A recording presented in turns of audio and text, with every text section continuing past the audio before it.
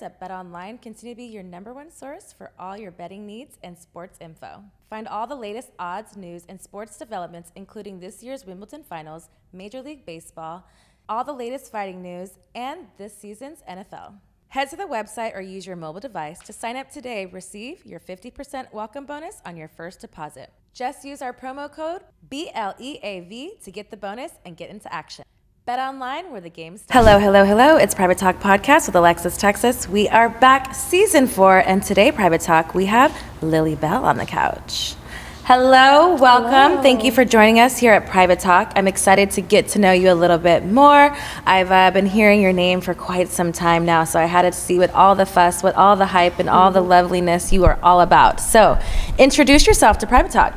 Well, my name is Lilly Bell, and I have been in the business now for a little bit over four years. Okay. Um, which I feel like now I would say that's like kind of graduating, you know, like you have your freshman, your sophomore year, junior, senior Mm. So, year. where do you feel like you are at in uh, your level of porn if you're going to categorize it like that? I would say I'm still a junior. Okay. Yeah, I would say there's still a lot of learning that I have to do, but I feel more of a veteran for sure. Okay, so you've Yeah. got some scenes under your belt. You kind of feel more confident. What are some of maybe your favorite uh, companies you've worked for, maybe body of work that you really feel like have come into your own, is where you could say you feel like a veteran in, in the game? Yeah, um, I've done a lot of work with Dorcel this year. Um, so I got to travel to Paris and work for them. That was pretty cool. Um, and then also I've got to you know play on with my acting with them as well, and that's been nice. Um, Is that something that you wanted to do prior to the industry, or something that you kind of like unlocked and was like, hey, I really like this, and kind of gotten from there? that one, Okay. yeah. I, I never ever pictured myself as to be like an actress, and I think I've said this on a couple of podcasts. But like if I when I was watching porn, if I ever heard anyone try to act, I'm like, mm, next. Like I don't want to, you know, like like that's just not my do you vibe. think of that now while you're doing it yourself or do you just kind of put that in the back of your mind because how do you kind of disassociate in those sense where it's like you're not something that you really wanted or practiced to do but maybe you're just you know something that's natural to you and it comes to thing? Do you think that it's like is it forced? Is it something that just kind of comes natural? Do you think that's why it kind of falls into place?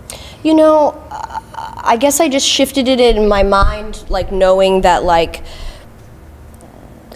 I guess just everyone around me was like, acting's the thing now. So I just was like, okay, I guess acting's the thing now. Okay. And when I started shooting for companies like Lust Cinema, they were having me try out, like, and like read lines. And I like, and that was very interesting. I never would have ever thought that I would have to do that. So I feel like, I just yeah I don't know it's it's interesting like like okay for, for for example my first like big movie that I did that had to do with acting the nun was getting like a cross through her eye and then having sex with a cross through her eye and it's like I don't really know who's watching that and jerking off to it I think mm-hmm. it's more just like a body of art for people to appreciate mm. I don't I wouldn't jerk off to that but Yeah. but it's a niche for everyone everyone Yeah. is into their own thing so yeah, I think we're just seeing an air of like like the person that I'm dating. He does a lot of different types of weird shit. Like he works for this company called Parasited, where they have like it's like real life hentai, like with like the worm and like going Okay. into the girl. now is that only like a soft core situation or is it actually it's- adult and like they're fucking and with all of that as well yeah, like slime Okay. Coming out and into yeah. It's, so it's very like it's almost like 3D Yeah. of things, but like all right, all right, interesting. Yeah, it's interesting. So, I mean, I guess I just never thought that porn was going to be into these different avenues. Mm. Um, I just really always viewed myself as going to be someone that's going to just be like a gonzo girl, but that's not what I am. Okay, so with that being said, let's kind of let's let's backtrack a little bit because you Mm-hmm. say that you know you didn't think that you'd be this type of performer, maybe, Mm-hmm. and you know things like that. How did you get into porn? Was it something where you an avid porn watcher? Were you someone that you were a really big fan? Did you like have people that you looked up to Yeah. um, to kind of do that thing? And when you say that you would only just be a gonzo girl, is that just what you were watching? And you know, did you not like how did the whole porn process kind of get into where you are right now?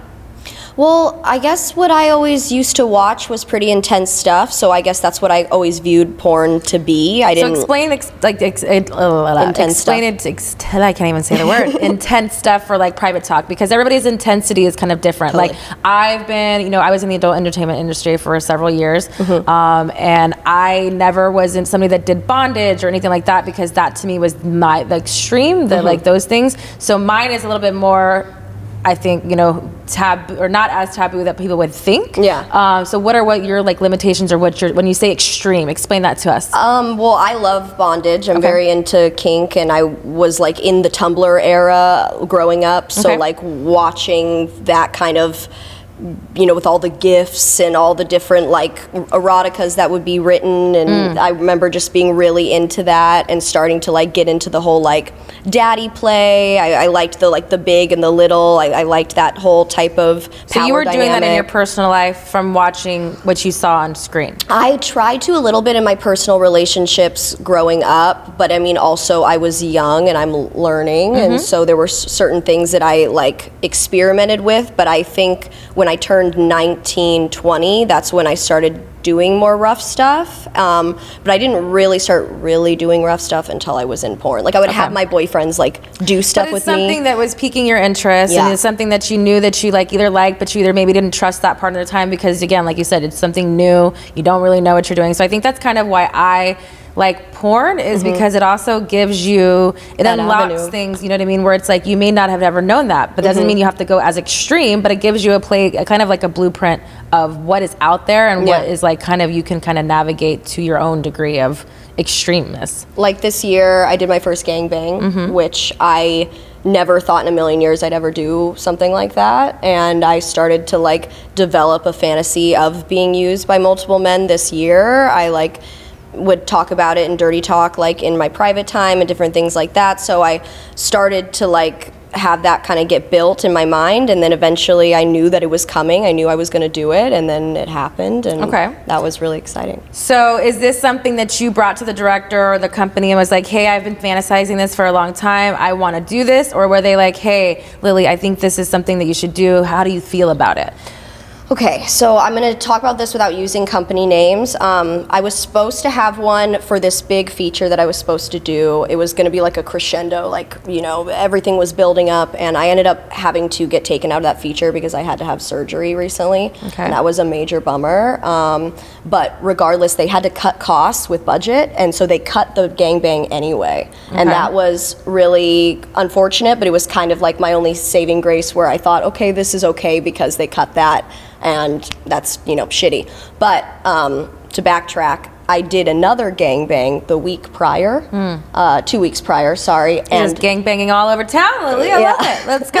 and uh, a girl canceled. Okay. And that's why I got to do it. Okay. You know, so I'm a believer in everything happens for a reason. yeah, so I was like, oh my god, this is a chance of a lifetime. Uh, there's only about five other girls that have done this type of gangbang for this company. I'm now going to be one of them. I'm going to do it. I'm going to fucking show out. Um, but then. Uh, then I had to have surgery right after, and then I wasn't able to do that movie. So it was like a bittersweet thing. Okay. But uh, to be entirely honest, if I look at it like in the grand scheme of things, that gangbang that I did is going to be a thousand times bigger than that movie. Okay. And even other people were like, you know, that movie people will forget about, but that gangbang will live on for like a long time. So, have you already shot this one and has already been out? Can we? Like, it's coming we- out. So okay. it's, I don't know when it's coming out. It's supposed to be coming out before nomination. So it's going to be a, before September 30th. So I think August or late July. It's late July already. Okay. So probably August. yeah. Okay, Exciting. I'm really excited. So, is that something that you would do more of, or is it something that you're just kind of like a one off? Like now that you see, like, you know, it's like evolution of porn, right? And also of you as a performer. It's Mm-hmm. like once you start doing things more, you either like know you like it, you don't like it. Are you going to go into more hardcore extreme things? Is that the most extreme that you want to go? Like, is there other things on your list that you haven't done that you're thinking about doing soon? So um, I didn't do anal for that gangbang. Okay. So I feel like that's another time where I can you know, use Mm-hmm. another hole. So um, Figuratively. yeah, and then um, Yeah, I, I think it's definitely something I'm going to be doing again. You know, it's funny, when I was doing it, I remember feeling like I wanted to grow another arm or grow another, like, because it's just like, it was very much Needed like. more. Yeah, yeah, and I felt a little frantic, and then I remind myself to kind of just like, you know, focus and, and, you know, not be so like needing to grab everything, but it's kind of like you want to because they're all around you. So Yeah. you're just like, Did you come with all of them? um, I came pretty hard twice. Okay. Yeah, and then I squirted once, which is also New rare, too? and that's um, something new that like two Spanish men have pulled out of me, and I don't know why Spanish men have been okay, able to okay. like pull that out of me. It's very odd. okay. But uh, yeah. I think it's probably more the man than the Spanish part. Yeah, but who knows? no, they're totally. quite, they're It's quite totally lovers as well. yeah. Um, you know, I feel like it's also like it's a technique. I think that some people, especially more sometimes Latin lovers or whatever, Yeah. take more time into really like pleasing a woman. Mm-hmm. Where sometimes you know their male counterparts um, in the industry are just straight to the Yeah. point. Sometimes where it's just like you know you have to do, but it's not really making me feel that great. You're just doing like you know the cookie cutter of what you're supposed to do. Well, and it's also like I'm not a squirter, so like to have that happen, and it happened like two weeks in a row with two of the two different men, and I just remember being like, "What is going on here?" Because the only other guy that has made me squirt um, was Prince Yahshua accidentally, and I mean, remember like Miles Long being like, Accidents happen and they're "Yeah," quite fun. he goes, "You need to tell me when that's going to happen." I said. I, I had no idea it was Yeah. going to happen, and it's probably not going to happen again. It was just like a, a fluke thing. Yeah. And then JP made it happen once for kink, but never with someone's penis and never with someone's fingers except that one time with Prince. Well, So I I, mean, like, it sounds okay. like a fun time. I think Yeah. that I think it's all about you know being comfortable and relaxing and like actually enjoying your partners and not Yeah. trying because I think it's all about it's not it's like losing control. You know what I Mm-hmm. mean? It's like and you those things happen when you're at your or, most orgasmic state and like you're kind of just like and uh, like, you Because know, for me, when they're doing it, I mean, I don't know about you, but I'm not orgasming. It's a release. It's a nice release, but it's But not. it's a different type of orgasm. Yeah. So it's like it's more internal in a sense of like you know the same way like you don't we don't like our female ejaculate. You know what I mean? That's why it's like where it's very few times that it'll actually. Um, spew places Yeah. where it's like sometimes even people don't realize that they're squirting Mm-hmm. but it's just not shooting up it's just like splashing or like you're extra wet or things Yeah. like that so it's just like knowing your body and kind of like what your fluid does for you I had such a fascination with squirting before I got into porn. Like when you were asking if I was a fan of porn beforehand, I was. Like I was super big into watching girls squirt, and I remember like researching like why don't I have these glands? Like why are cer- Mm. certain girls? And then I realized like what it was when I got in. Yeah. And then I was like, oh, you so know. who are some of the girls that you looked up to in the industry okay, I have a I have an interesting array of girls that I Okay. used to watch, and I never watched men. okay I don't like if I saw a penis, I was like, eh. Um, but I I liked Bonnie Rotten. I liked Riley Reid. I liked Gina Valentina. I liked Carly Gray. Um, I liked Tori Black. Um, Janice Griffith. Yeah, I liked a, a lot of random arrays Okay, a of plethora girls. of- of different females doing stuff. Yeah, it was never a type. It was more just what they emulated on camera for me. Yeah, Okay. yeah. Interesting. Has there any of those people that you've actually got to work with and or maybe that you want to work with? I would love to. Um, all of those ladies kind of have Fizzled out? Fizzled, fizzled out, and they're they're your time period, kind of. Some of them. I think they're Yeah. a little bit after me. Yeah. I don't know. Is Bonnie your time period? after? After. Okay. Yeah. Um yeah, I think you said Tori. she's around she's around the same Yeah. time. Tori's the only one that's about the same. Okay. Um but I know Bonnie's definitely out not doing anything, but Gina Valentina definitely goes stuff for her OF. Mm-hmm. Yeah. Um Yeah, they're all definitely. Yeah. yeah, still shooting some capacity. Yeah. Um, but yeah, I think only those two girls, but kind of those still doing things. I definitely know my stepdad used to watch you. I, know, I, know that's, I know that that's like a creepy thing to say, but How old are you? um, I'm 27. You're 27. Yeah. Mm-hmm. Okay, okay. Is your stepdad hot? He is, yeah. He's, How do, you, how do you know that your stepdad watched me? You, what, Um, you like saw his porn? No, my family and I are very open. So, like, when I was talking to Spiegler, I remember I talked to Spiegler when I was like in 2017, and I. I remember he was like, "My girls have to do it all, and you have to do this, and you have to do that." And I was like, "Eh, click," and I, I didn't do that. But when I talked to my stepdad about it, and I said I'm thinking about doing this, you know, he's like, oh, well, I really like Alexis Texas. I think she's great. So Oh, well, thanks. I'm done. You know? shout out. Yeah. I mean, people have their own taste. I think for me, again, why it's one of, the, I think it's kind of fascinating, and even sitting on the couch with you know different girls that have been in the industry for before me, with Mm-hmm. me, you know, after me. I think it's really cool to see how you know people have changed about the evolving of like how to talking with their parents before Yeah. you do it, and you know the, the levels of like the acceptance. Like obviously, not everybody like parents would say, yeah, that's what I want you to be to grow up, but just having the openness to be allowing you to be who you want to be and free whatever that means for you. I Mm-hmm. Think is really cool, and you know um, the evolution of where the world is now. And Mm-hmm. because I mean, as much as sex workers get such a bad name, we're still people. We still have feelings. We still have families. We still have all these things. So I think the more that we can communicate and talk about it, the more that it doesn't need to be a shameful thing. It can Mm-hmm. just be an accepted thing throughout, um, you know, everyone, not just families, and you know the the world itself.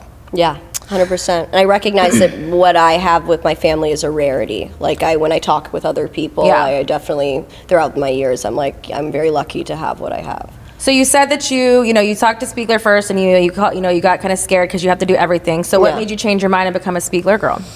Well, I'm doing anal this year, so that was a big thing, and I wanted. To So did you, were you with Spiegler prior to that, or okay? No, I was with OC for three years. Okay. Yeah, and they were a great agency. They're the ones that made me move here. Um, didn't make me move here, but they pushed me. Mm-hmm. Um, and then my three years was up, and I just was looking for different representation. And uh, everyone around me was also like, "You, you, sh- you need to be a Spiegler girl. That's where Yeah. you should be going." And I said, "Okay." And um, you know, I talked with Spiegler first of all. I don't know if I should be. I, I think it's okay to talk about this because I'm with them now, so it doesn't matter. But I talked with them, and they Spiegler wouldn't really talk with me. We talked for about four hours, and I thought I would be part of the agency. And then he's like, "Well, you're on a list." And Yeah. I'm like, "Okay, cool." So then I, you know, goes call back on the first of the month. So I call back, nothing. I'm like, "Okay." I call back again the second month, nothing. I'm like, "Okay." Well, I'm not going to call back the third month. So then AVN happens, and I see George um, and Spiegler, and then I am mm, maybe like four days after AVN, I'm sitting out on my couch and I'm waiting for my Postmates.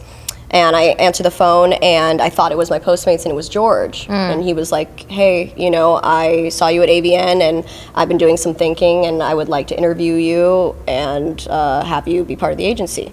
And I said, "Okay, cool." And so for me, I mean, that door closed, so Yeah. I was like, "Okay, whatever, I'm good. I'll, I'll just keep keep it moving." Uh, but then they hit me up, and I was like, "Okay, Okay. sure." So for you to get that feeling of now, like you said, if you weren't going to call one more time because it was your ego or whatever, because you just felt neglected. Yeah. How does that feel now to been like now they're searching or like seeking you? Did Yeah. you feel like oh I kind of I made it or they recognized me? Like how is that feeling to finally get I guess the call you've been waiting for? Um, I was like, it's not Spiegler calling, it's George. So you know, it's it's still. Uh, I shout out to George. I love him a lot. So um, I think that that's great. But I really wanted to win over Spiegler, and I feel like I have now, but Yeah. it's taken some time. He's definitely somebody that's like, you know. Uh, I don't know. He's a he's a hard one to crack, and he's also like like I'll give an example. Like I go, okay, I'm gonna call you on you know the first of the month. I'll call you you know exactly 30 days from now. And I guess it, it was you know not exactly 30 days, and he goes, well. That's not exactly 30 days. So if you were going to call me 30 days from now, that would be on the 5th. So you need to tell me what you actually mean because words are literal. And, blah, blah, and I was like, mm.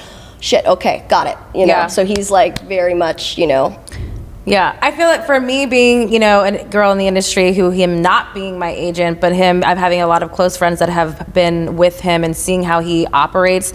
I think that, you know, there there comes a standard of when they talk about Spiegler girls and you know LA Direct girls and all uh-huh. these, you know, Motley, all these different agencies. But I think what really captivates like who he is is that. I think he really holds the girls to who they who they should be, or not Yeah. sh- who they should be, who they are, but pushing you to be like worlds are literal. You know, Yeah. people this is a business you know time is money there's things that you know if you if you're not sure you don't want to do then this business may not be for you Yeah. but i think being very direct and really like you know being mind conscious and really being on the girl's side and not just about money and business i think is what kind of pushed him to where he is and his agency is that he's had one of some of the most successful girls come in and out of there so i think that you know 100%. sometimes it's it's interesting interesting and it's weird, especially coming from different agencies and how some people don't work like that. Um, but I think that's also telling of what your work ethic is because mm-hmm. it's like it works for some people and some people can't deal with it. And yeah. it doesn't mean that they're any less or better than you in their performance, mm-hmm. but it's also some people just don't get along and it's like energetic. And yeah. I think also with the industry, everything is about energy because it's about chemistry. We're having sex on camera, but it's also a business and how we like run those things is kind of how we fluidly get our business and our brand to mm-hmm. what they're really meant to be and where we can flourish the most. Because yeah. you know we have the people and the team behind us then you can be as slutty and raunchy that you need to be when you have somebody on your side doing all the other things and you know making sure that is your best interest and heart. Yeah. And i mean i have to say like even just being with them for the short amount of time that i have like they are fucking agents. Like, yeah. they are like on it. They're on the ball they care you know they're calling me. I've never had an i mean i love i like oc a lot um, but I, i've never had an agent call me to check up on me multiple times after a shoot or like you know to i don't know there's just been there's this extra mile that i'm feeling with them and i'm just very grateful for it and how long have you been with them so far now started in march and okay. i had a kind of rough go in the beginning and so like you know now i'm not working and so like all i've been wanting to do is work and so when i get back in august i'm putting my head down and I'm grinding. So are you not working because you said you had a surgery mm-hmm. and so you're recovering from yeah. that? Mm-hmm. Uh, is that everything like is it health wise? Did you do something? Everything I good had a cyst. Okay. Um, it was just like a inclusion cyst. Like anyone can get them, but mine was just really really bad yeah. and it got really large. And then I had to have surgery and um, yeah, it was shitty. But yeah. now it's okay and I um, am sewn back up and. Um, I'm going to get the scar lasered, and then yeah. we'll. Get well, I'm glad you took care of yourself, and you know took the time because some people don't do that either, and yeah. like it, sometimes it's hard to be like, oh, you know, I can do this, or this was seen one more thing, but it's like you know our bodies are what kind of fuels our industry and your work, so it's like you know sometimes it's nice to like I think that's kind of what the pandemic showed that like to sit down and it'll still be there whenever mm-hmm. you're rested and healed and ready to be. Yeah all of those Lilly Bell things. And it's tough, man. I mean, I was devastated. Like, I was like, you know, like, because all you want to do is like have your body work, and it's frustrating when it doesn't. But at, like you said, it's like, I mean, all I have is my body. So it's like it has to for sure be taking. I have to take care. Of I think when you're young, you know, it's one of those things too. It's like it's it's hard to step away from things, especially you know when you're doing well. You started with the new agency. You're having you're all these things, going, you know. Yeah. But I think that's also the world showing you that maybe you need to sit down and have a reflection of like where yeah. is this really going? Like what yeah. can I do to where I'm not in this situation anymore? You know, where I'm not having to obviously it's a cyst you couldn't really do anything about it but you know what i mean changing your, the way your lifestyle is if yeah. it's like eating healthier like getting regular checkups so putting those things i think is another big importance that people don't realize about sex workers is that you know we do have a lot of health things that we have to take care of and if Constantly. those things aren't taken care of then yeah. we can't work so it's yeah. like you know we're kind of really extra on those things i think that that's one thing with me is i learned way more about being like a woman than you know i started when i was 21 but i learned everything from what it looks like, what yeah. it's supposed to look, what you're not supposed to, you know, all these things, like what that feels like, and mm-hmm. you know, what's what's a good sort, what's a bad sort, you know, all those things. Um, but porn definitely kind of opened those things to like questions of like, well, why does this feel this way? Yeah. You know, so I'm definitely appreciative of having just that knowledge of the porn education and not just the fun though, you know? No, I, I was, I think I said this on Holly's podcast last, but I was like, I've never been more clean in my life. Mm. Like you really have to be so, so clean and, you know, cause it's not just for you, but also for everyone else. And yeah, it's just so important. So were you a highly sexually active person prior to porn? Um, no. No. so I, I mean, yes, but not promiscuously. So like, like exploring wise, yeah. but like more with like one person, you're doing a lot of things. Yes. So we still never got to how did you actually get into the industry? So how did you just sign up for porn? What was like the final like straw to be like, you know what, Spiegler wasn't for me, it was too much, but OC mm-hmm. obviously mm-hmm. was the place for you to land 1st mm-hmm. Like what kind of made you that that final push?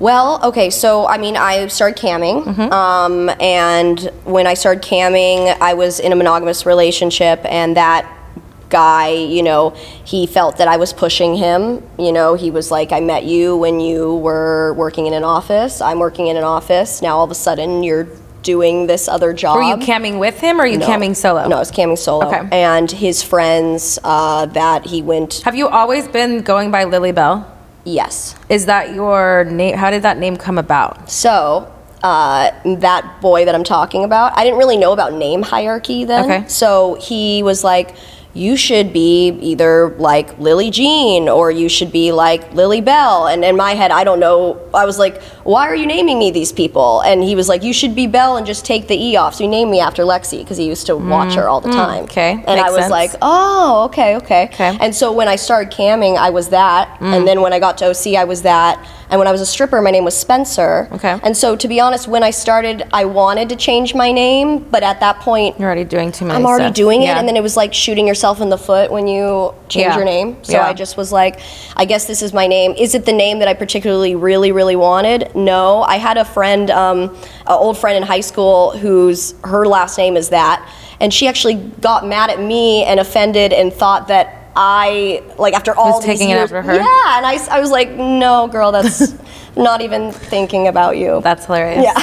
it's interesting how things like that work because sometimes it's something that you thought or that you wanted or something, maybe a nickname you will Yeah. by, or some, most times, sometimes agents kind of give you names now too, or, or like in your case, uh, like an ex boyfriend that's Mm-hmm. Yeah. like, oh, you know, either you're my favorite porn star or whatever. It's just kind of interesting how that kind of goes. With. But I feel like at the end of the day, names are names and who the person behind that name is really like telling so it's like you either have the choice to make that your own and or you live in the shadows of somebody else so it's like you know for sure it's like you if you want to be lilly bell then you make a name for lilly bell and it doesn't mean who, whoever before was like that so i feel I'll like people like uh, like Renee from New Sensations. Like she's called me Lexi before. Like there's people, you Mm. it's know, very close and very similar. She's one of my best friends, so it's just Yes, it's funny yeah, because yeah. uh, we had you today, and then we also have Alexis Tae Okay. next. So it's I like, like very Alexis a lot. similar names to both of us, Both- yeah. ironically, the same day. So I was like, really funny how that works. Yeah. But it's just interesting how the business works too about Mm-hmm. how that pushes because it's like obviously it's like those names like you said you didn't know the hierarchy of what those things were and why Yeah. your boyfriend was saying that but they like obviously mean status to certain things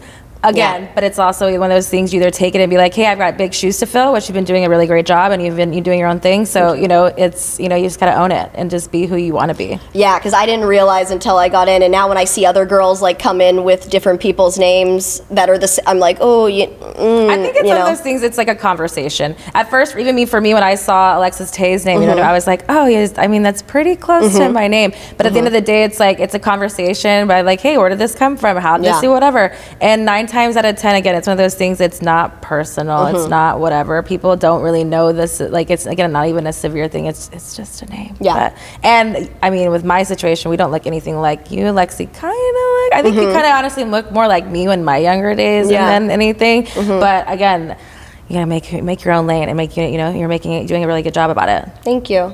Yeah. So when you come back, you got okay. So this boyfriend named you or suggested these names. Yeah. He said that you were camming. You, he met you in the real world, Mm-hmm. and he's of this whole thing. So how uh, long after did that split you guys apart to where then I'm feeling this conversation going to then decided just to do porn? Yeah, well, he he had a bunch of friends that were watching me on cam, and Mm. that kind of rocked his world because he was like, "Oh my God, all my fraternity brothers are watching you," and so they thought that I was like cheating on him because they thought that he didn't know. Okay. Um, and so But is that cheating if you're fucking yourself? no, but I think if you go to Indiana University, you might have a brain where you like are very like you Okay, know. make- fair enough, fair enough. So they uh, definitely thought that I was you know They a teach a giant course whore. in that there. Yeah. where- Yeah, so he you know, it, it just it spiraled. So I think, you know, he was always cheating on me. This is what my stepdad said. So like I found out that he was cheating on me and that was my silver lining to just fucking you Okay. know, jet off. But uh, my stepdad goes, I think that there was slow and fast seasons with the cheating. I think when you started to do this, you know, he sped up with it and Yeah. then he slowed down. You know, it was Because kind of in like his mind, it justified that what you were doing. So in their in their little Yeah. minds, they think like, oh well, you're doing what you want, so Yeah. I'm gonna do what I'm gonna do. But he would never admit it. I mean, to this day, he still never admitted that he did it, even though I had all the receipts and all of the Mm. proof. But you know, I guess you deny, deny, deny until you. Yeah. You know, I mean, you're in a better place. You know what I mean? It's one of those things that you Yeah. can deny it all you want, but the truth, you know, the truth is what the truth is for you, no matter what his truth is to him at the uh-huh. end of the day. Because, you know, once you feel like that as a woman, that you're either cheated on or the trust is just broken, there's no going back. So even if you went back one more time, you know, it's not, that would have still would have been like a like try, but the trust is still never the same. So No. it's like as women, we try to feel like, oh, we want to try until we haven't, you know, we don't have anything else to try left. But Yeah. it's like, just cut your losses and run. I was already ready to be done. So when it happened, I was I was happy that Okay. it happened. And when I we broke up, I felt so free. Like I just so what was your first scene? My first scene was Twisties with Giselle Palmer. Okay. And um, it she's not shooting anymore really either. Um, she was a Spiegler girl for a little bit, and uh, it was cool to have Twisties as my first scene. I So you just that. started with girls. Yes, Okay. I started started girl, girl, and solo because when I was with my boyfriend, that's how I signed. Hmm. And he, you know, he would be like, "Swear to me, you'll never do boy, girl. Swear, you know." And I said, "I swear, I swear." But I knew that I wanted to. And You wanted the dick. It was, it was going to come eventually, Yeah. warming you up. Okay. Well, and I also thought to myself too, like, this was the person I was going to marry, have children with, and I thought like, I've only had sex with like six people so Mm. far. I'm like, that's like, I can't, I can't stop now. And obviously he wasn't stopping, so That's it's one like, of the cases I like to say it's like you're young, dumb, and full of cum because it's like one of those things where it's like at that age we want to be like, oh, we're adults and we like want to have this like perfect relationship and we're in this adult job that we have, but it's also like we don't know ourselves. Like I started No. porn when I was 21 and I feel like that was a perfect age because I was already out of college, but like Yeah. I wasn't, you know, I still was young enough to be impressionable and like eased to a situation, but I still had a, my own head on my shoulders where I mm-hmm. could make my own decisions. Mm-hmm. And I feel like even then it's like, you know, I got married young because I thought I had to and, you know, all these things, but it's like you don't really even discover who you really are until you start, and maybe not porn for everybody, but the sexual partners and like you know it's just like exploring, and it doesn't even have the quantity of people, but the, just the like things of what you're doing, Yeah. and any relationship that's gonna like put you in a place where like you, ho- you only have these stipend things, like please don't want me to do boy uh-huh. girl or only do girl girl. It's like that's good for the moment, but that's also on up their problem because that's their insecurities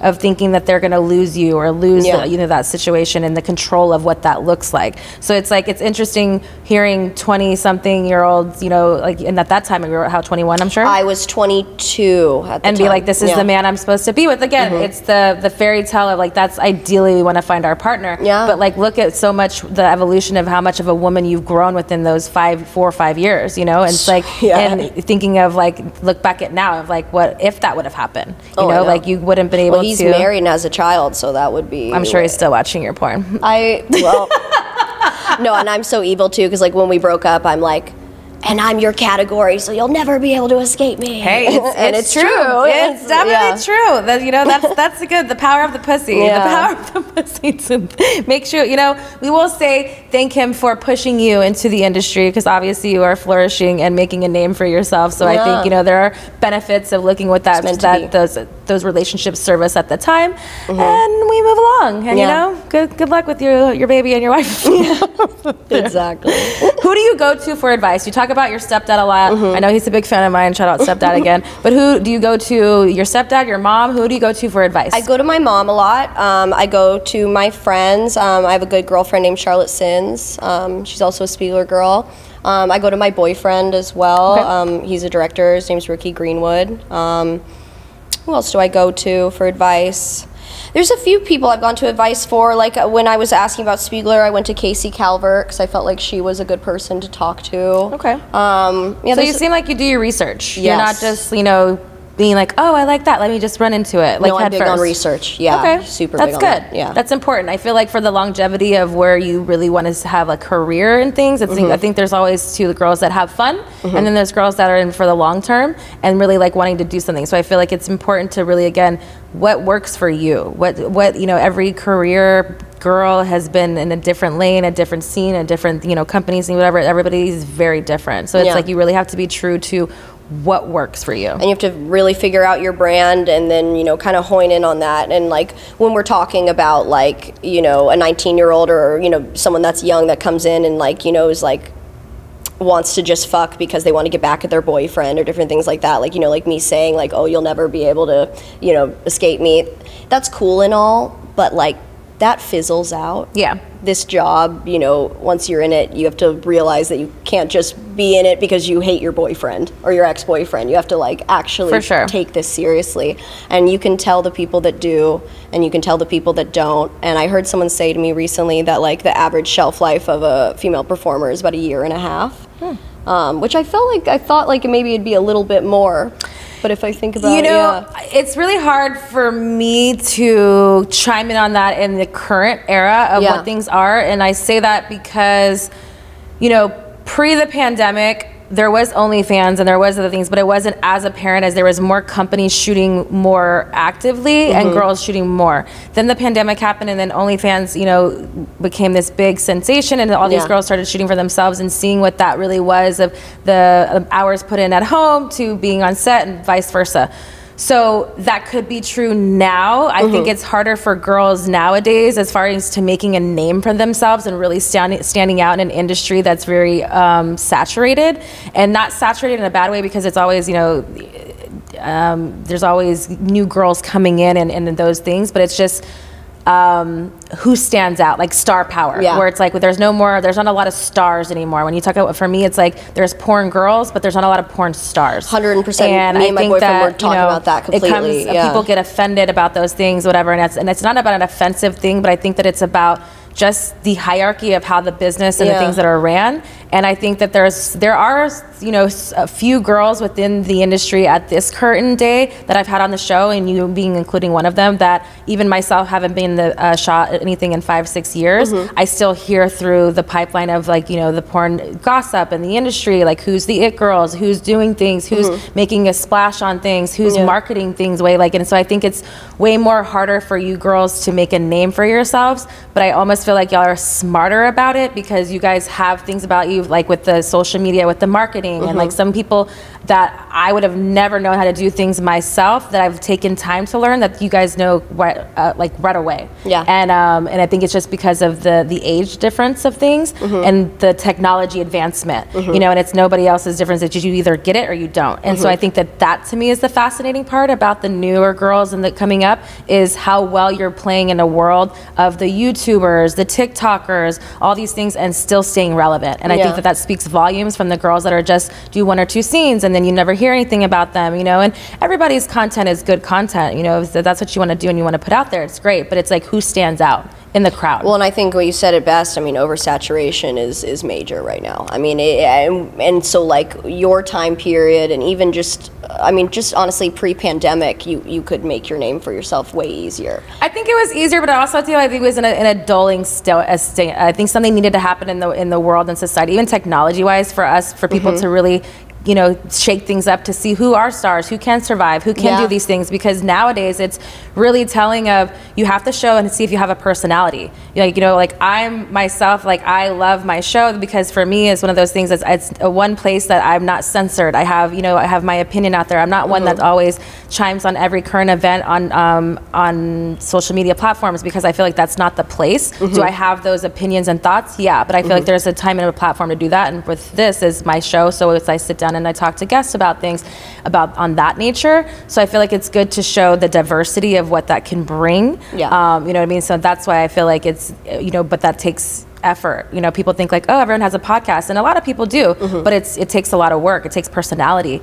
People even with like the TikTok, the you know the skits that they do, it's so animated and showing like their growth from like the comedy the comedic route to just the like sense you know like the just the like uh, content in general just being funny or viral and all these things. So it takes it's a very creative you know field. So now it's like if you can't do any of those being a pretty girl it just doesn't cut it anymore. No, it you have not. to do more you Yeah, know? And i think that that's good. and queen. it's challenging because Yeah. i feel like you know that's kind of people get a bad name of like oh you're just so pretty. People used to be like you're too pretty for porn. I'm like what does that mean? Yeah. i'm like um i'm fine i'm like you know what i mean i don't think there's a too pretty for porn you know Mm-hmm. No. kind of thing i think that i loved porn and i loved what i got from it and that you welcome you got to see this pretty face get fucked exactly. well, and it's also like God, some of the prettiest girls I've ever seen have been in porn. Yeah. You know, so I think that that's silly for people to say that. I think it's one of those for me. What you know, and again, it goes back to what is pretty to you. I think someone Yeah. who owns their sexuality and who's comfortable in their own skin and those like that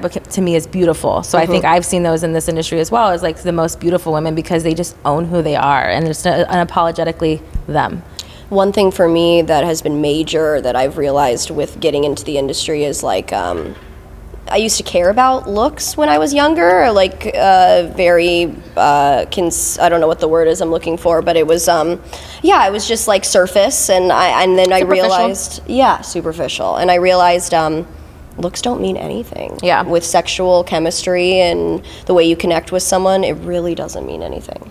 So let's talk about that. You said that you're in a relationship. Mm-hmm. He's a director. How did you guys meet on set? Did you were you working for him? How did those lines like cross? Did yeah. you ever work with somebody prior to and have any relationships in the industry?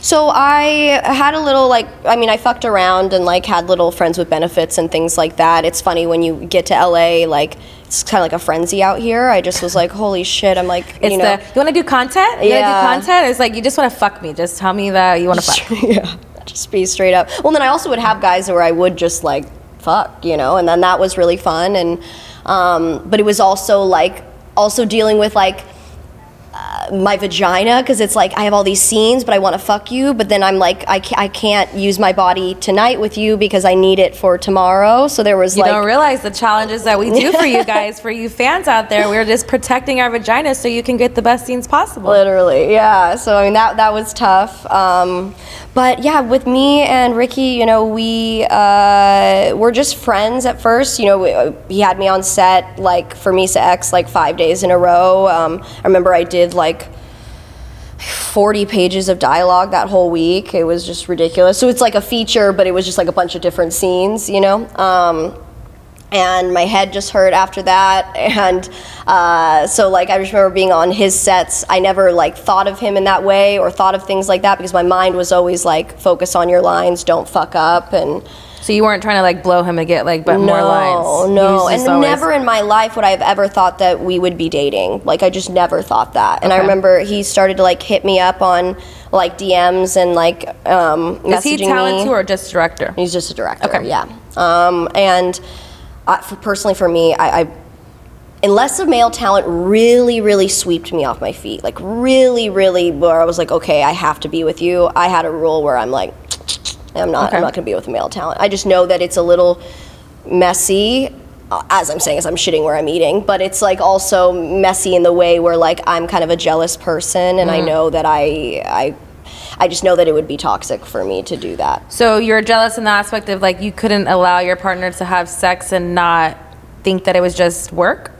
Yeah, like I, I feel like it's interesting because like I'm in a relationship where my boyfriend, you know, allows me to do that, and then I sit there and I tell him it is just work. But if roles were reversed and he went to go start shooting content, I'd be like, no, no. no. You'd say no. It would be a deal breaker. It, it would be hard. Uh, yeah, yeah. I think it would be now. Like now, yeah. I would so in return yeah. now, let's say that someone new came and said, "I don't want you to shoot anymore." Mm-hmm. Would you do that? Absolutely not. So no. that would be so if somebody tried to tell you you couldn't do that, yeah. you would say you're not for me. God, this sounds bad. I guess I guess I would. it's not. This is a safe space, but I also feel like these are questions that probably have never been asked to you. So I yeah. feel like this is this is private talk, getting to kind of a girl talk. I feel like I'm a good reader. Like I read people very well. So it's like you got to navigate those feelings because if you don't ask the hard questions now, mm-hmm. Then your your relationship will suffer later. But I think I don't think anything of what you're saying is wrong. Mm-hmm. It may sound wrong because the first time you've said it or been asked that.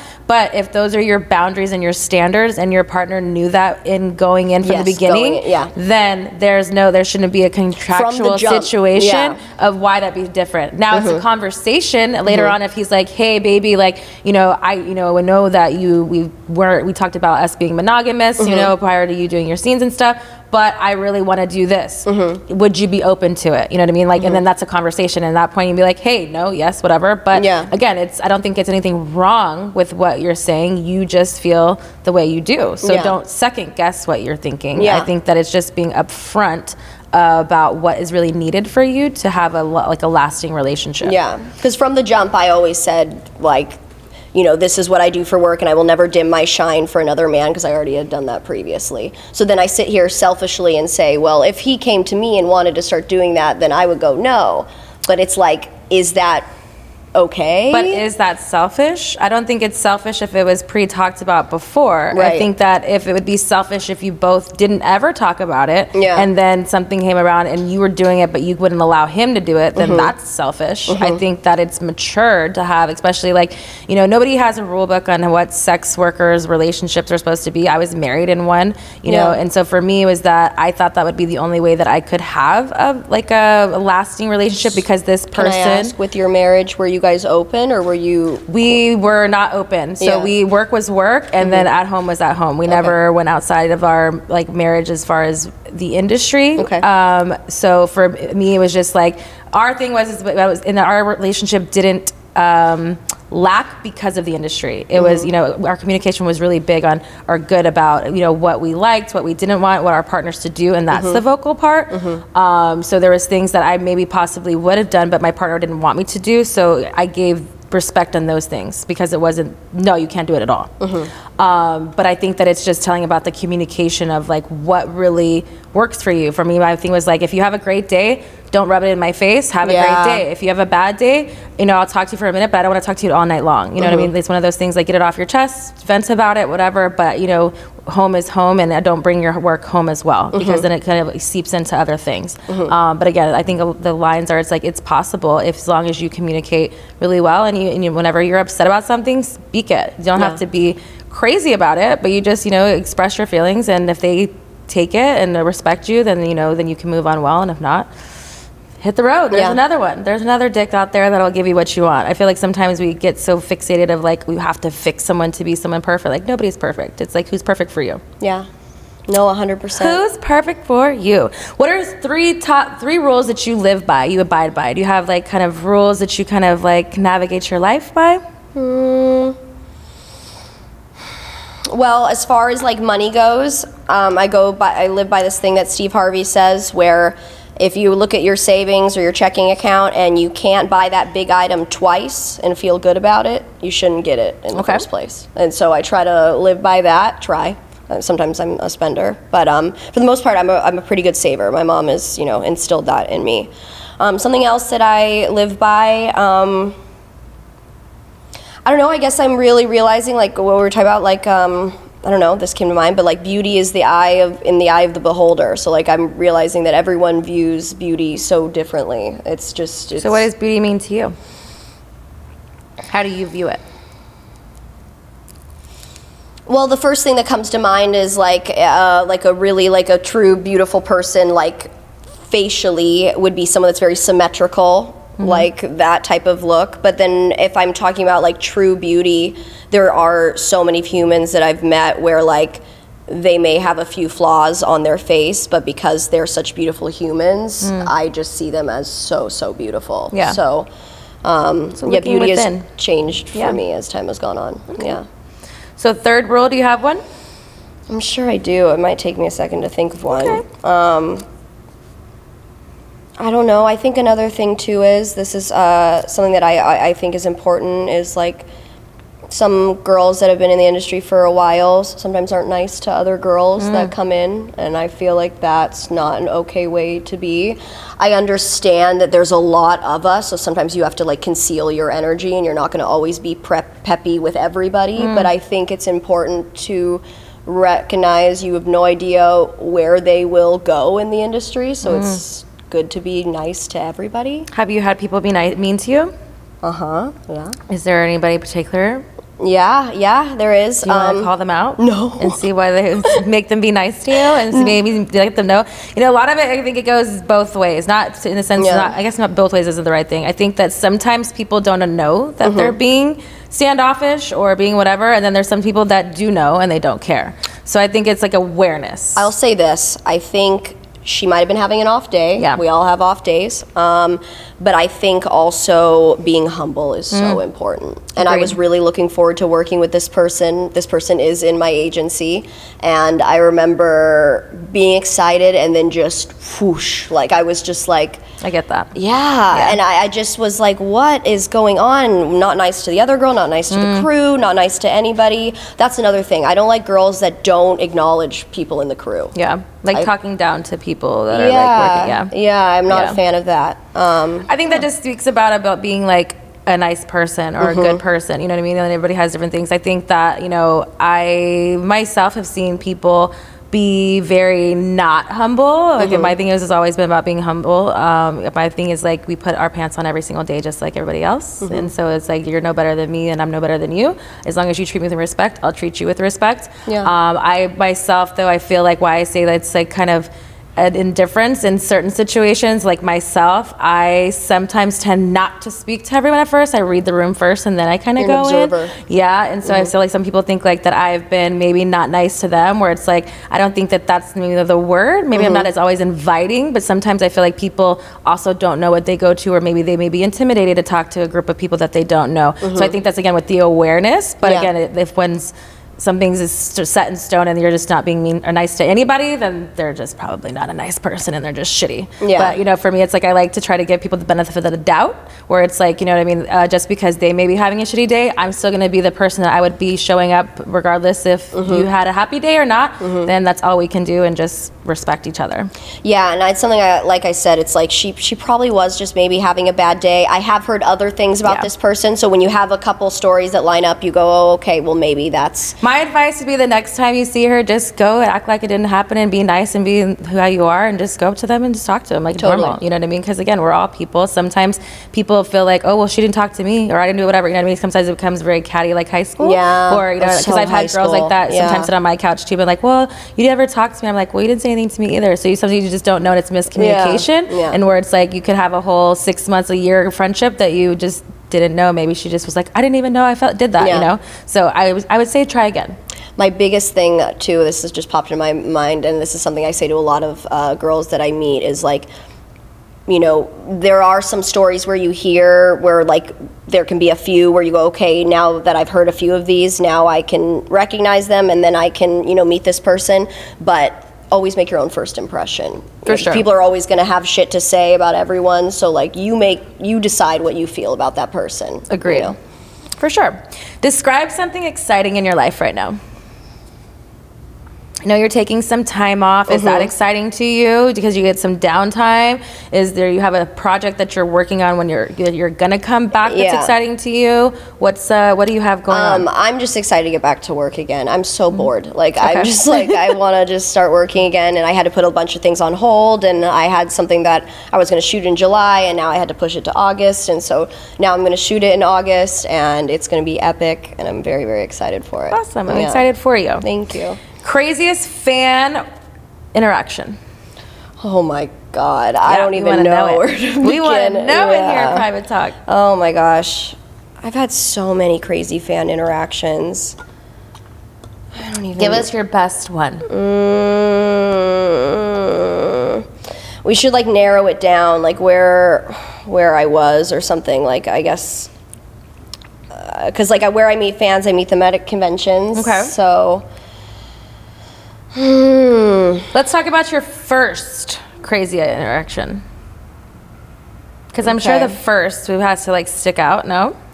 Yeah, I'm trying to think what would be my first. Well, it was AVN, so I went to AVN when I was brand new. I only had eight scenes. It was like 2020. Okay. Um, so I, uh, well, I guess I'll just talk about this fan. So, um, and I'm seeing him this weekend. He's my number one fan. His name is Ralph. Um, and so Ralph was like my dude from day one. And so he has like followed me to like each convention and um, we're pretty good friends. And it's got those air miles going. yeah, yeah, yeah. He's um, he's just one of those people that is kind of like a Comic Con guy, but for porn. Like he's just very. Um, He's got like 22,000 of your 8 by 10s that you're going to sign. oh, he has me framed in his house. Oh, yeah, nice. yeah. It's like that. Yeah. So he's he he loves me a lot. Um, but he um. Has been around for a while, so like he used to like watch Ginger Lynn Mm-hmm. and like that time period. So he always says that I like remind him of Ginger Lynn. Um, But, See that a little. Yeah, but and so like um, I got to be with Ginger and him at Exxxotica and like take a p- photo with him, and he was just like losing it, you know. He jerked off to that picture for sure. yes. Oh yeah, yeah, yeah, for sure. So. Uh, Ralph, I met him, and then you know, I guess I just have always seen him, and I guess I just have a little bit of a crew. Like I have uh, like at least like five or six dudes that are like my really good fans that I just like keep around that are like really awesome, and there are a few fans of like a bunch of other girls. So what too. makes it crazy? That's what I'm trying to think of. I'm like, I haven't really had anything that's like crazy that a fan has So you're done. just talking about like a crazed fan, but like what's Yeah. a crazy situation? Like, did someone give you a weird gift? Maybe ask you something weird? Did you have somebody waiting for you at your room? Did you have somebody? Well, yeah, if we want to talk about like offensive stuff, I got a lot of stuff. Yeah, like crazy like that. Yeah, we can go crazy in that way. I was thinking crazy in like a positive way. I'm like, I don't really have anything that's No, positive. This yeah. is we're going to teach our fans how to be better. yeah. well, here we go. Um, so this is something that was very, very unfortunate. I had a fan recently at um, DC, and he, you know, did the whole, oh, I don't have any money, and I'm like, oh, well, you need to get some money here. There's a lot of lovely ladies that you know are needing money, so there's an ATM right over there. This is the worst place to be with no money, so you need to go home immediately. Pack your bags and go. Literally. And he had the nerve to press me a little bit longer, and I had a little bit of a line, and I, I just said, fuck it, fine, let's just take a selfie really quick for free. Sure.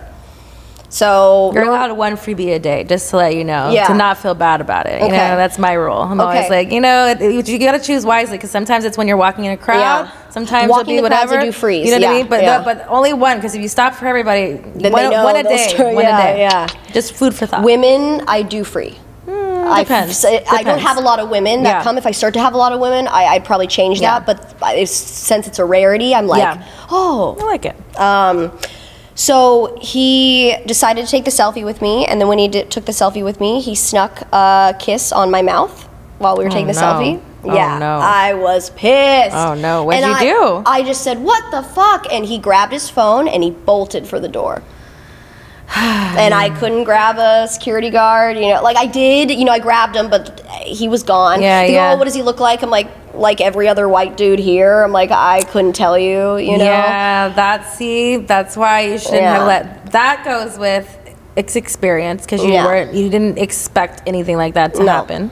But it's also, it's like you know, your intuition told you to be like, look, dude, I have a whole line of paying customers. Maybe tomorrow, come back another day, but today is not the day. Maybe Yeah. when my line's low, like a little bit, whatever. You just have to like, you know, again, it's experience where it's like you don't know and you don't want to like make your fans upset, Mm-hmm. but it's the same thing when someone's panhandling or whatever. You don't know their true story. They can Yeah. be telling you whatever it is. You just don't know. You can't feel sorry for everybody. Yeah. Because if that's the case, I have a sob story too. Do you want? you know what I mean? So it's like unfortunate. No, and that's you get a lot of lingerers. And you also get a lot not of, yeah. having people that are like in that space to you, where it's like I always, even because with my big booty, you know what I mean. I make sure that my hand is on one part of their hand. I'm like, you can touch, don't grab. But if you grab my ass, then we're, not gonna get your picture because you know you have to have limits to it. Mm-hmm. Yeah. And there'll be people that have done it, and I've not taken the picture because I'm like, I told you Yeah, what it was, it. and that's just what it is. But it's boundaries. The thing is, like, we do porn. You were watching me get fucked. I'm doing all these things for your entertainment. I'm not a piece of meat. So Mm-hmm. respect me because I am a woman, and you wouldn't want anybody to do that to your mother, your daughter, or your sister. So respect me, or we're gonna have issues. I had a situation at Jersey uh, like a year ago. Um, this guy was awful. I don't. I was drinking, so I don't completely remember what happened. But me and my girlfriend just went in on him, and we're screaming at him, and then he's screaming at us, and then we're kind of making a scene, which just looks so bad, you know. And then I realize that that's what's happening, and I'm like, okay, let's just like. So I go Walk and get away. Dan, and I'm like, okay, this guy needs to go, and like. It was just frustrating because this person had paid to be in there to be a dick this is another thing I had happen. Now we're now we're off and running. See, So, now, now yeah. your, not the wheels are turning. this guy. Uh, also, yeah, guys that pay to be in there to be rude, like And to to be, be where? What are you talking to about? To be at like conventions, like to be Oh. like in spaces where we're at, like to be like at feature dancing events or anything like that where they pay to be there and then they choose to be rude. It's like I think that they get off on maybe being rude. That's kind of like their mo. But this one, uh, these two dudes, they were like, oh well, you know, who are you? You know, kind of trying to like downsize me, and I'm like.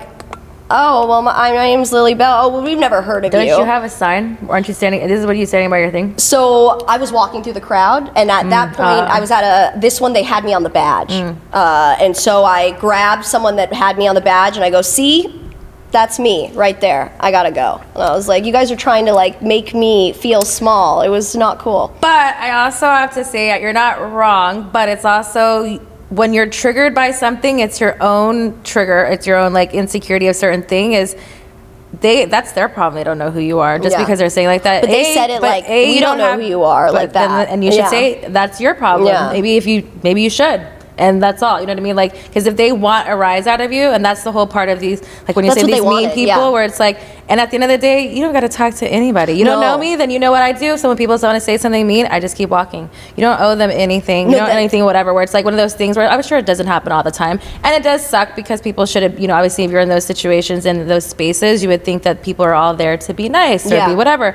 But a Men don't know how to speak to women, especially someone that they jerk off to. Mm-hmm. So therefore, it's like they're gonna look for the meanest thing because that's typically how women respond because Mm-hmm. they want to talk. They're like, "I'm not," you know what I mean? Because it's the first reaction where it's like, you know what? Well, then that's your loss. No, I looked at them and I go, this is, I'm like, you're not even paying for my, this is something too. It's like, But look, it's taking your energy in a negative way away from the positive because of the reaction it's getting. Is what I'm trying to tell for you. me, I get like, you're not at my booth. You're perceiving me and taking me out of my time and also belittling me. And there's no reason for me to even be having this conversation in the first place. You guys are the ones that stopped me. Here's the badge that I'm on. I'm out. Yeah. And then I moved on. And then I have like all my fans that are cool, that are there, that are ha- like supportive. And they're like, what happened? And I'm like, oh, you know, meh, you know, and it's okay. And then I get over it. But it's just like, that was one time that that happened. And I just remember it stuck with me because it's just like, it is, that doesn't really happen, Yeah. especially there. Like, Yeah. it really doesn't. But it's one of those things. Again, it's experience to learn for like the examples of like when those bad situations. Keep your in, cool. But they'll be in certain places where that's not a convention based. That there will be people saying mean things or whatever. Where it's just like at the end of the day, they may get you on the wrong day, and you may say, "Go fuck yourself." I've been that person too, or I'll hit you in the. You know what I mean? Yeah. Is it ladylike in my situation? What things that I've said? No, but that it's like learning how to not let them take your energy. So to be I- positive in a sense of where it's like you know never breaking out of like the character of who you really are and if who you are is to, to say something back every time then you say something back every time yeah. you know but for me i think it's like the in those spaces that you want to keep your pot your Conserve energy your positive. energy, you want to yeah. be you know you, you like oh, you know what well then there's a lot of other girls here that you can be fans with i don't have time for it sorry sir Facts. Gotta go Literally. Yeah, I was like, here's the badge, I'm out. And then um, something that just happened to me recently where you're talking about like conserving your energy and things like that, uh, you know, and I'm sure this has happened to you as your name got bigger and people started to say things about you. Um, I was pretty open about things that have happened to me medically, like on Holly Randall's podcast. And this woman watched what happened on Holly Randall's podcast and made a video about me on YouTube and like picked me apart. Like this 15 minute video where she just like, you know, just made me look like the cheapest whore and like all this stuff and how like gross my job was. And it really like hit me. But at the same time, like, that's her opinion and I was doing the right thing. My intention was to warn other girls that this is not do a walk you in the feel park. gross No, do you feel bad about what you do no. then why do you care about what this lady thinks about you? Again, Yeah. easier said than done. I've definitely me- been where people where it's like they're gonna shame you, they're whatever, because they don't understand why you chose to do what you're doing and be vocal of why you're telling things. For me, this was the first time I've ever seen someone pick apart a video of me where I've ever been vulnerable. I've never ever uh, talked about that openly. This is the first time I ever talked about it openly, and someone watched that and took it in a way that I didn't mean it. Yeah. You know, I and so that was hurtful. It was also hurtful because it was another woman,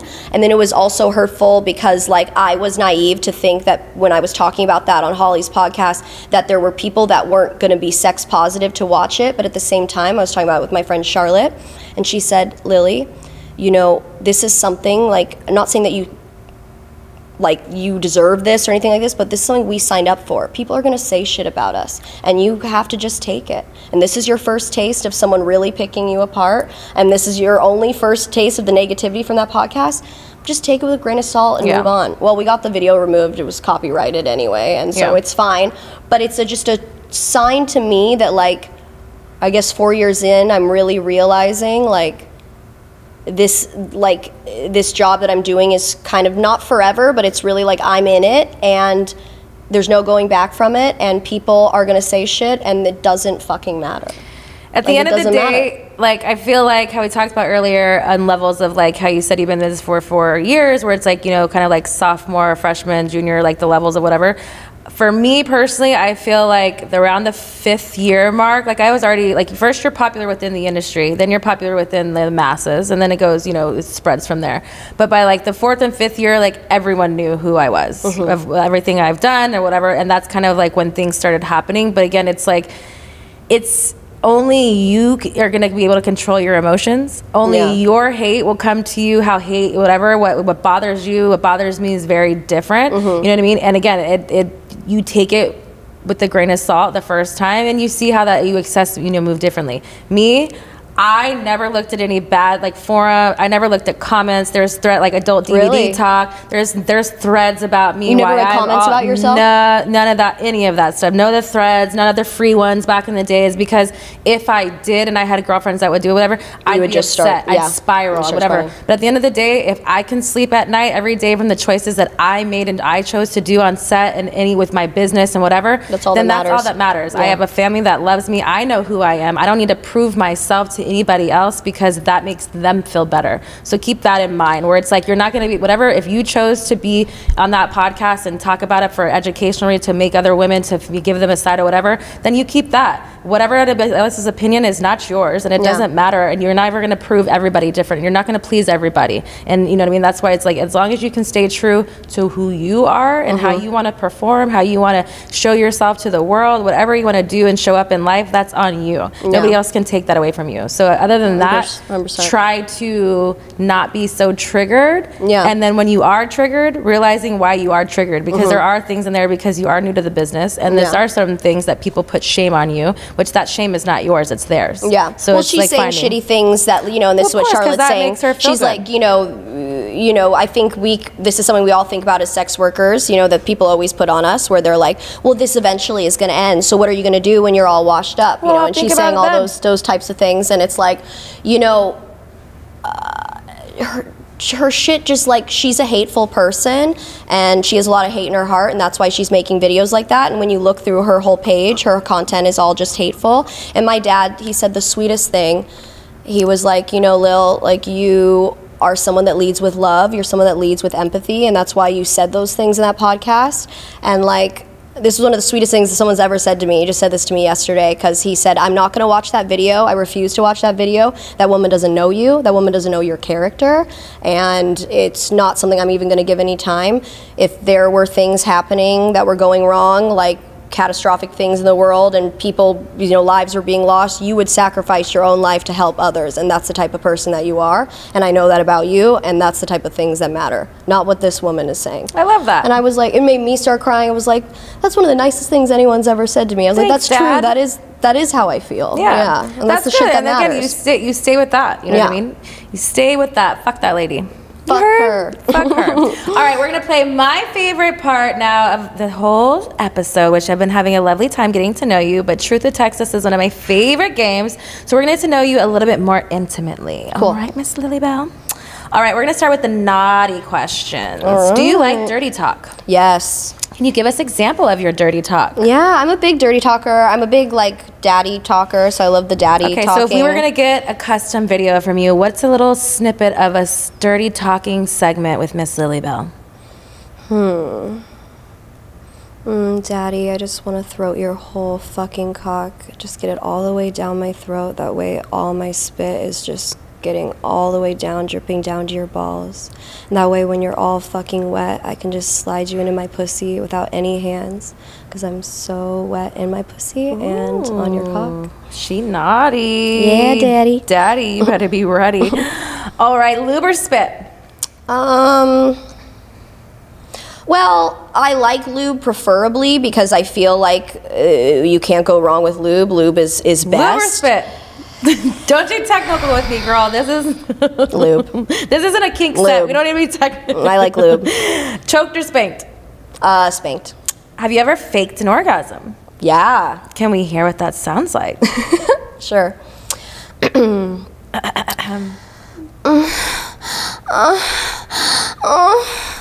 Oh, fuck. oh my god, I'm gonna come. Oh, fuck, I'm coming. Those acting things have been paying off. I even saw the eye roll. She was really into character, guys. She's a real one over there. and I could have made it longer, but I made it just She's even shorter. sweating. No, that's just the not air condition here at the studio. no, It's I'm okay. literally dripping sweat. like my boobs are like soaked under here. I'm right there with you. I wish it was because I was sitting on your face, but it's not that cool. But you know, we're gonna we're almost done. We're almost done with you. Um, role play. What's your favorite type of character to play when you're role playing?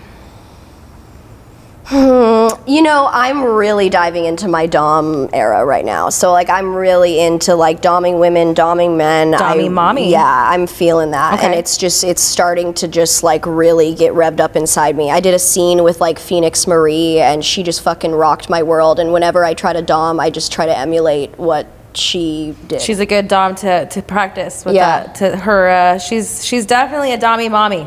she just owns it. There's just no and I think dom comes with like quick wit and like Yeah. that's something I'm still learning. It's more. I mean, it's about owning who your like your like your sexuality in a dominant like you know alpha way. You Yeah. know? there's just no other way. It's just you're an alpha. Yeah.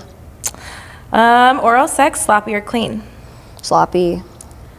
Have you ever had a threesome prior to the industry? No. Biggest turn off. What is something that someone can do immediately and you're just like, pussy's dry? Um, I don't like someone that is hateful towards women in any way. I hate that. Okay. Yeah. Any misogynistic shit. Okay. Romantic questions. Would you consider yourself a romantic? Yes, I would say so. Um, but uh, it takes time. Okay. Uh, yeah, I have to really trust you. What's yeah. the most romantic thing you've done for a partner? Hmm. That's a great question. Um, Or are you the one who just gets the romantic things done to you? I, I'm a princess for sure. I definitely get things done f- to me, but I feel like I am a giver. I, I'm a really good gift giver. So, like, Okay. something that I do romantically, I feel is like you'll, my partner will say things throughout, you know, the year that we're together. And so I'll take note of that. And then when it's time to buy gifts, You're a thoughtful gift. yeah, there's something that he had already had mentioned that, Okay. yeah. That he'd have no clue that you're going to go and get. Yeah. What about what's the most romantic thing done for you since you say you're the princess? Um, I get taken on trips. I think that that's pretty romantic. I like that. I think that that's nice. Um, Vacations. yeah, I would say that that's probably Okay. probably the nicest thing. So we know your biggest turn off. What is your biggest turn on? Um, my biggest turn on is definitely confidence, not Okay. cockiness. I like I like a man who's confident uh, or a woman who's confident. I like someone that just knows what they want and and takes it. So could you be in a relationship with a woman? Mm-hmm. Okay. Have you sure. in the past? No. Okay. Um, but you're open to it. I am open to it. I was I went on a date with a girl a couple times before I started dating the person I'm with now, and you know I always wanted to venture more into that, but I have always just been with guys. Okay. You know, and but um yeah. Well, if it's know. meant to happen, it'll happen. yeah. Foreplay or sex? You have to pick one. Foreplay. What are deal breakers for you in a relationship? Cheating, lying. Cheating. Cheating is Cheating? huge. Yeah. Okay. Naked or lingerie? Lingerie. I love lingerie. Mm, let's see. Bathroom sex or car sex? Bathroom sex. Giving or receiving? Are you a giver or are you a receiver, Miss Princess over there? Miss Princess Peach over here. I would. uh, I'd say I'm a giver. Giver? I'd say I'm a giver. Naturally. Favorite yeah. place to be kissed? I, I love the kissing, the teasing, like right, right in the inner thigh, like Okay. or like that Right area before right. your pussy's yeah. about to get in, you're like, oh, just do it already. Mhm, yeah. Okay, okay. All right, Diamond, spicy questions. Okay. Something that is completely off limits sexually for you that you don't even want to try, that you just, maybe you've tried it and you just don't like it. Um, I'm not really into like pee or vomit. That's like probably my. Vomit? People have asked you to vomit on them? I've done a vomit scene, like hook a oh. pot shot. They make you vomit on yourself, oh, and I didn't particularly want to do that Not at all. No. They, how do you make yourself vomit? He was searching for my Did you uvula. tell? Did they tell you before you were gonna be vomiting? You know, no, it was kind of one of those tricky things. No, they didn't.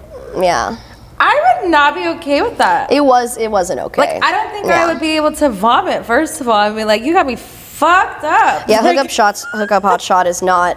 not the best company. Yeah, and I mean, some hmm. girls love it. I, I do like it sometimes, but like This is what OC put booked you for? I wanted the booking. I was Oh. the one who searched for it because I Girl. knew what I was getting into, but I didn't know that I was getting into vomit. So in a way, it was kind of like I didn't ever. It was kind of my fault in a way I felt because it was like I was the one that searched for that booking and I got oh. that booking, but mm-hmm. I didn't agree to vomit. And then the vomit thing happened, and then afterwards, you know, we're filming the video, and they're like, "So, were you okay with everything?" And I said, "Well, no. I mean, I didn't really like the vomit." And they're like, You "Well, can't say that. I can't say that. So, you know, I had, it was fine. and then they didn't have any um, shampoo. I didn't bring any shampoo. And I, I know this is so stupid. They had shampoo that had sulfates in it. Fix my face. And I'm like, I didn't want to put sulfate in my hair, so I went home with vomit in my hair instead of putting sulfates in my hair. Because I was like, I'm not going to put a shampoo in my hair that's not blonding shampoo. this sounds horrible and bougie at the same time. I was like, I'm not. And also, I never get breakfast before going to a shoot, and I got that like Wolfgang whatever at the Burbank airport. You know, I that- don't know what Wolfgang whatever It's that Wolfgang Puck that, yeah, yeah, it's, it's some stupid restaurant they have in there. So I got a nice breakfast that I ate, and then I proceeded to vomit all over myself. So I was Oh. like, that's nice. Don't want to ever do that again. So that was a hard no for me. Yeah, I can't. I don't even know what to say about that one. Yeah. I just don't One like and done. vomit in general. Like, There's times it happens, there's a lot of questions I have here. Private talk. First of all, if any of my fans out there are watching that, I'm concerned. I need. I there's a helpline. I, don't know. No, but I mean, I guess more power to you. I just don't understand how you could legally sell that. Like, how is that? I don't know. It's just a little. Uh, mm. yeah, I mean, uh, I guess because some girls want to vomit, some girls want to get peed on, some girls want, you know, all of that. I get the wanting to, Yeah. but I think there's also like, yeah, isn't there some kind of legality about? I think it's just blood and, and poop you can't do. Oh, okay, okay, okay. Yeah. Maybe that makes sense. Maybe Yeah. I'm just, I'm just like any, any, like uh, any of those things. I'm not sure about. I just don't know how I would be. Like, I don't think I could do that. But you said they were like searching. They're like, He was he was fucking my throat, but like you know when he, he he's taking the dick and almost searching for it like a flashlight, like he was dragging Oh. it in the back of my throat to Mm. where my uvula was. So then eventually I just yeah, gagged everywhere. Yeah. Was it a lot? it was yeah. I had a good amount of breakfast that morning, so I I would did yeah. It was not right, back not to ideal. spicy questions. uh, let's see. Have you? Who's your celebrity hall pass? Mm, probably James Franco's brother, Dave Franco. I really am attracted to him. I don't know why. There's something about him. I just okay, like think he's the hottest thing ever. Have you ever stayed in a relationship for sex? No. No. If the sex was good, you didn't stay a little longer than you know you wanted to. No, no. I mean, I did. I got slutted the fuck out when I was in the industry. So prior to getting in the industry, uh, I didn't really have like I had good sex, but not like what I had now. Okay. Okay. Yeah. Have you ever had anybody fall asleep during sex? No. No. No. Most embarrassing thing that's happened to you sexually. It could be onset. It could be offset. Oh sure. Uh, there's this new guy named Hollywood Cash, and he has a very, very large cock, and I was throating it, and so you know, I, I got How big is very large? Um, Can you show us with your hands? Okay, okay. I think he's like 10 and a half inches. 10 and a half, all right. It's a big boy. Yeah, he's, he's, he's big. Um, and he uh, throated me, and I got it all the way down. And when I unhinged my jaw and got it all the way down, I Unhinged your jaw? Yeah. Okay. Because you, you know, you can slide a cock back. I mean, it will hit that part, but then there's some dicks where they're skinny enough where it can go all the way through your throat, like down to your throat. There's only some dicks that Mm. Okay. can do that, though. like, right. uh, but when so he got it all the way down my throat, and then I remember the force of it made me fart. Was it loud? Yeah. And I said, please smell? Mm. cut that out. No. No, because if they're loud, they don't smell. I feel like. How do you know who's who is doing the research for this? If they're loud, they don't smell. Most of the time, I feel, because that's like the silent but deadly. Maybe Yeah. I don't know. I mean, I don't know who's the research team on that one, but I don't know if that's accurate information here. But that is like embarrassing one. Yeah, and I said, I said, please cut that out. Did they? No. Did you like act like it didn't happen afterwards, and you just kept going? It was pretty odd. No, I, I There's no I said- turning back? Yeah, I said, I said, please, please, cut that out. Okay, okay. Called someone the wrong name during sex. No, never. What's the what's the sex skill that you were most proud of? If there's one thing that you're like known for, claim to fame, Miss Lilly Bell, she's known for. I would definitely probably just say my head. Probably just giving right, sloppy head. head. and the Good deep throating. Yeah. Mhm. Okay. Hmm. Let's see. Most number of times you've had sex in one day. Mm.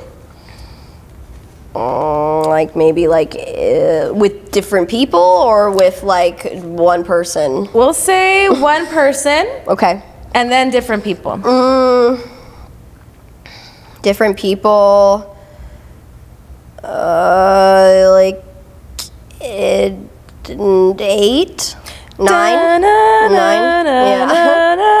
nine. I'd say Nine. Yeah. Okay. Okay. That's a good one. Yeah, How many I, people? I, I have an orgy that day and then have sex with my boyfriend after. Oh, So- okay. So, he has no like rule afterwards. Like you're just ready to go right after. Does No. it turn him on more when you get fucked No, by? it? No. no, Doesn't matter. No, it doesn't matter. fucking- Yeah, Okay. yeah. And luckily, he's not like that where he's like, "Oh, you can't touch me when you come home." Okay. I w that would be a deal. That would be a deal breaker for me. I would agree with that. yeah. All right. So that's with multiples. With with just one person.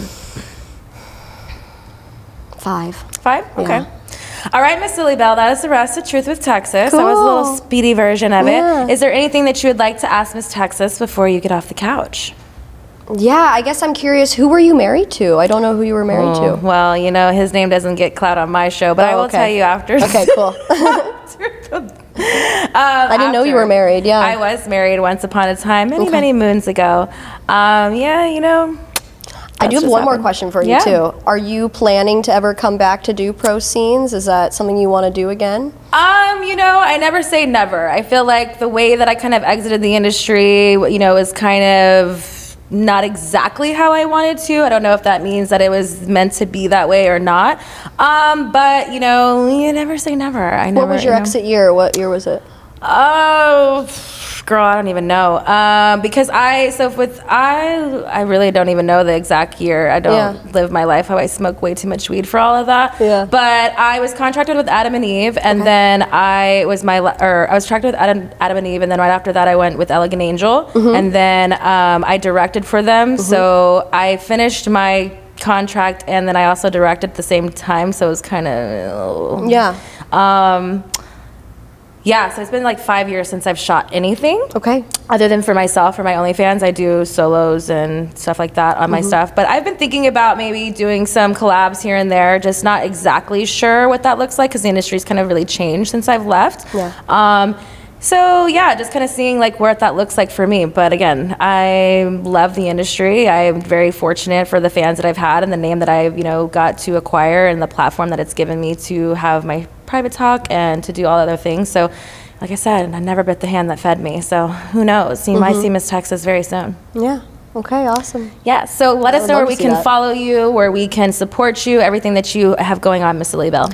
Okay, so my OnlyFans is uh, Lilly underscore Bell XXX. Okay. Um, my Twitter is your fave Lil, and my Instagram is Bell of the underscore ball. Awesome. Thank you so much, Lilly Bell. I had a great time getting to know you a little bit better. I hope that you've gotten some maybe inspiration and some um, advice from Miss Texas. Yeah. And uh, we meet again, Private Talk. This episode is sponsored by Bet Online.